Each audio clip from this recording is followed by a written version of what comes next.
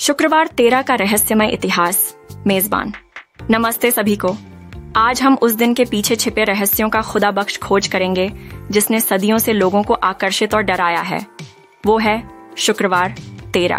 विश्वास कीजिए या ना, शुक्रवार तेरह का डर बहुत प्राचीन इतिहास से जुड़ा है। कुछ लोग इसे नॉर्स पुराणों में खोजते हैं, जहाँ बारह को पूर्णता और समापन का प्रतीक माना जाता था। तेरह, जो बारह से एक अधिक हो गया, वो अनियमित और अशुभ माना गया। एक प्रसिद्ध सिद्धांत नाइट स्टेम्पलर के गिरफ़्तार से जुड़ा है, जिसे फ्रांस के राजा ने उनके खिलाफ जारी आदेश के तहत किया था। इस घटना ने इस तारीख के चारों ओर अजीब अजीब विश्वासों को और भी तेज किया।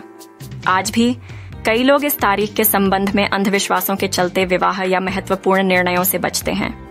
ये दिखाने में अद्भुत है कि यह भय सदियों तक बना रहा है। याद रखें, अंधविश्वास सिर्फ़ अंधविश्वास होते हैं। वे विज्ञान या तथ्यों पर आधारित नहीं होते। याद रखें यह सिर्फ़ एक दिन है और इसका आपके जीवन पर कोई असर नहीं होगा।